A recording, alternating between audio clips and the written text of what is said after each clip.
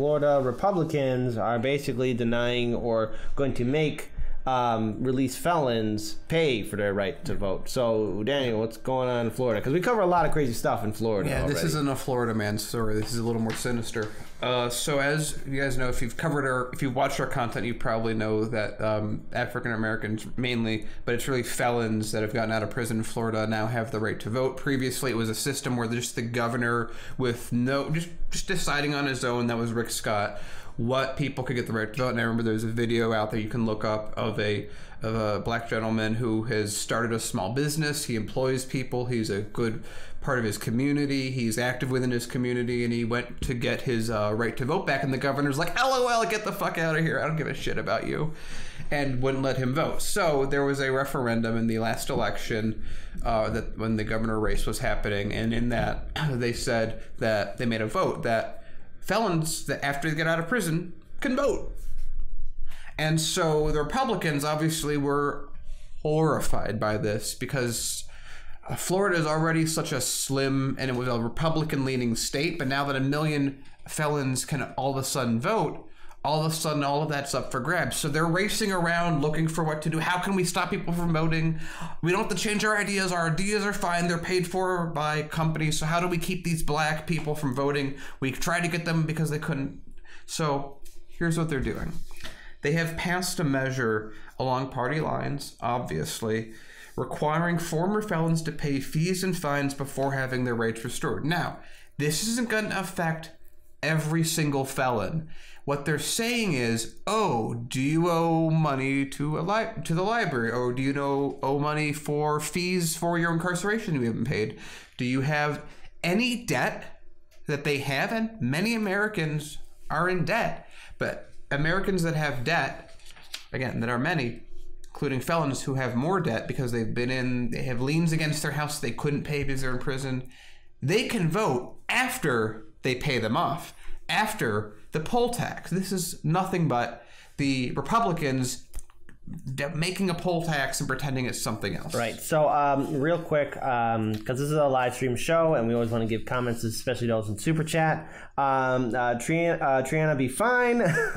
Just got here. Did you cover the people protecting the Venezuela embassy in D.C.? Paul did. We did talk We, about we that. already yes. covered that, but uh, don't worry, we'll be uploading these videos up very on Monday. shortly. It'll be on. That'll be on. You will get to see it if you, unless you scroll back on Monday. Yes. Monday. Or I mean, if, if the live stream stays up, you could Yeah, go back. Yeah, yeah. But if you there. want to watch, if you want to watch our second video and help us with the ad revenue, I would appreciate it. Yeah, of course. But you No. can, if you scroll, there, you'll see it. Daniel, keep on uh, telling us what's going on so we can add Yeah. our comment on this because Yes. because I just am going crazy here in this story right so now. So yeah, uh, court fees, fines, anything that you owe the state, you got to pay off before you can vote.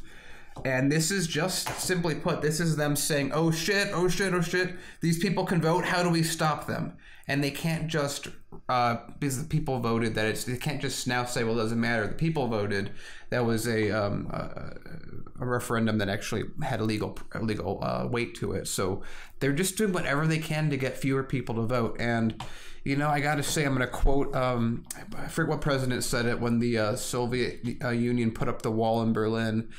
He said, "Democracy has a lot of issues, but I've we have never had to put up a wall to keep our people." And I'm going to make a ver- version of that, which is popular vote may have some issues and the people may have some issues that make them but if you need to win your election by keeping people from voting you shouldn't be running Yeah.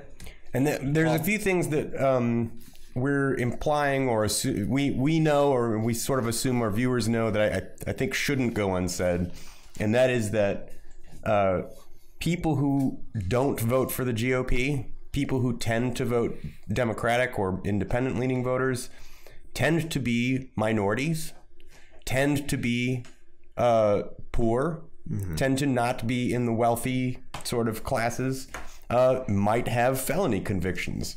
Uh, and so, and I think it's great that uh, Bernie Sanders is very loudly saying felons should be allowed to vote even while they're incarcerated. yeah But something like this, it's demonstrably true that you're trying to get the outcome of an election that you want based on disenfranchising voters, disenfranchi- disenfranchising people who likely will not vote for you.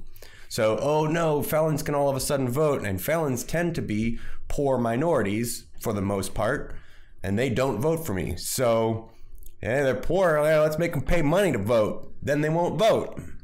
That's what's going on, and this this and this is why I think we we need we really need to get on board with uh, Bernie Sanders' very vocal policy of allowing felons to vote even while incarcerated, because as citizens, that is a right that we have that should not be taken away. Uh, with w- when your liberties are otherwise being limited. Now, now hold on. There's a, there's a couple of things we got to remember. The power of propaganda is very dangerous because for a long time, a lot of Americans thought that once you're in jail, you're a horrible person. The reason why you're in jail, you're a bad person, you're a villain, you're a murderer, you're a monster, you're a rapist, you're all these things. But if we really look at the U.S. prison population, majority of prisons pr- prisoners, men and women, are in jail because of this ridiculous war on drugs. And it's really helping out the prison industrial complex, the pharmaceutical industry, and anyone else that's profiting off the war on drugs. And, you know, majority of people that are in jail are in there for a long time. And these are nonviolent offenses. And the system is basically set up to keep people in prison so they have the free slave labor. Um, and when they get out, they have nothing. They have nothing to their name, and they don't even have the privilege to vote. And what Bernie Sanders is offering is them a chance to reintroduce them and reintegrate them into our political system and to be into society again. They paid their debt. As far my own personal opinion, I'm not going to speak for Paul and Daniel, uh, but I I think that the war on drugs is a ridiculous waste of time. It's just like prohibition. I think we It- all it- agree on yeah, that. I mean, I mean, I mean, it's all, all what prohibition was was some sort of failed child morality to stop people from drinking. Look, I'm gonna have a glass of wine with my Italian food. No one's gonna stop me. If I had to break the laws, I would go ahead and do it. Go, check out the Ken Burns documentary where they are offering like drinks to par with different foods and and and, and uh, you know other recipes to, to replace alcohol. I'm looking at that list and like, no, I gotta break the law the next day. I don't care. I don't care, man. It's the same thing with the war on drugs. Look at the consequence, man. Similar to it, you have all these people in jail for nonviolent offenses, and that's what makes up the most of the prison population and they should have a right to vote. And they should be- able to reintegrate into society. And the very fact that you have republicans and democratic leaders uh, you know basically saying that prisoners shouldn't have that uh, right to vote or put up a system to stop them from voting it tells me that they shouldn't be involved in politics at all. I'm talking about the establishment leaders. The the idea of democracy is so that everyone's voice is heard. And the minute when you stop or start telling people uh, who can vote and who cannot vote and the reasons why, it becomes a very slippery slope into something else called a dictatorship and or a limited democracy. And Oligarchy. you know, yeah, oligarchy. And then, and then, and is, is that the system we want? Does that sound like something? Does that sound like a win for a country that, prou- you know, boasts that it's the bastion of freedom and liberty? Um, I don't. I think uh, we should let them have the right to vote. Seems more like a dystopian nightmare to Yeah, me. Yeah. but I'm gonna, I'm gonna I'm gonna paraphrase CNN here. But doesn't that mean that the Boston bomber also gets to vote? Yeah, it does mean Oh, that. okay. Okay. No, but that's the thing that they, that I really despise when we we saw town hall. You guys saw that that, that saw it with us. Thank you for slugging through that with us. But this is the way that they frame it. They'll say, "Well, let me think of who's the worst person I can possibly imagine that Meghan McCain would agree is a terrible person." And then make it so that, hey, if you're letting everyone vote, you're also letting this guy vote. Now, I have two things to say to that. First, for every one terrorist that you're terrified of voting, you're keeping over a thousand people that have done nothing but held cannabis, stopping them from voting too. It's almost as if it's a false shield. And I think the other angle of this is American prisons are disgusting, infested places that have no use of correction. And politically speaking, who cares? People don't like prisoners. You know who can speak up for prisoners? Prisoners. You know what a really effective way that that could happen is? If they can vote. Because you know what happens when politicians have to care about the votes, the feelings, and the condition of prisoners? You get better jails that do a better job of bringing people and getting them ready to be back brought back into society rather than getting them in such a way that they're more violent when they leave than when they enter where they have to have those fines that we talked about in Florida get brought up if prisoners have the right to vote, all of a sudden they become a constituency just like any other. And since they're sitting around, a lot of them are going to vote if they're in prison. And so we put a system together where the rights of prisoners means a little something. And we don't have women who are pregnant and getting you know chained to radiators when they give birth or having c-sections that are sealed up with sugar because they don't want to put any more money into actually Oh dealing with them they become something that's valuable to politicians and that makes them an important part of society from a political standpoint which makes prisons better which makes america better it makes america healthier which makes it super understandable why the institutional support of uh, non-support, I guess, but the, the institutional uh, thrust toward keeping that from happening is in place because so much money is generated by this Yeah. system, right? Uh, private prisons are a huge uh, financial windfall for state governments, for federal governments. Um, if we allow prisoners to vote and they say we don't want prisons to be operated by private companies,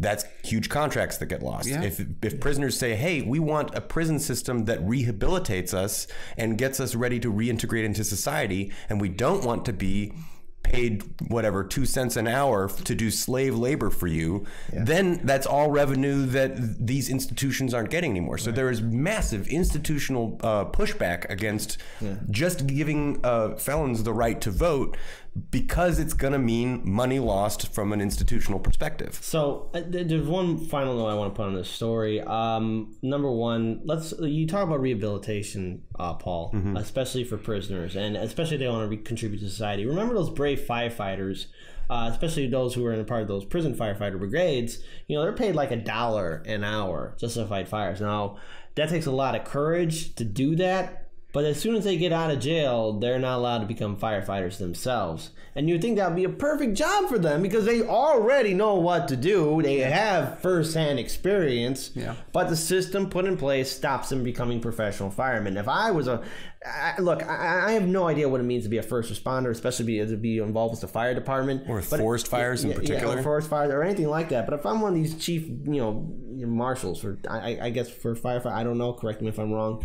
Um, but I would say like, okay, you got these guys who know how to fight fires, know how to work the equipment. Give them some more additional training. Come on board, guys. We need help. We need as much help as we can get. Right, these forest fires are getting worse, and boy, wouldn't it be great if there were people that knew how to do this and, had experience. And, and, remember to get the medical certificate you can't be a felon And then, and then on top of that too, there's a quote from Matthew: "White collar criminals get to vote, even after ruining the lives of many, and they get to manipulate the votes of countless others."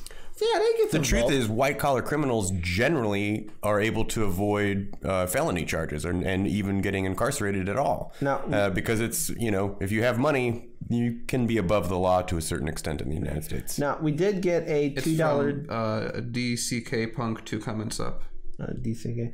Okay, uh, man, I've been waiting all week uh, to see what you guys had to say. All right, thank you for the two dollars, my friend. Uh, y- you know what? It helps us out a lot, especially with our independent media, and uh, you know, you really help keep this network alive. V- Viewers like you, thank Thanks you so for the much. super chat. Yeah.